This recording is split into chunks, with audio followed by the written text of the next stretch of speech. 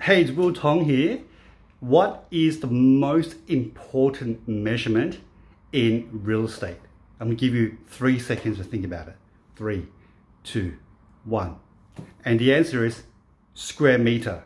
Because everything about real estate is measured in square meters. Whether your land, whether the size of the house, how size of the bedroom, even pricing comes down to per square meter rates. So guys, study up on square meters and understand what the average and the range, price range per square meter is in the suburb or neighborhood that you're looking to buy an investment property.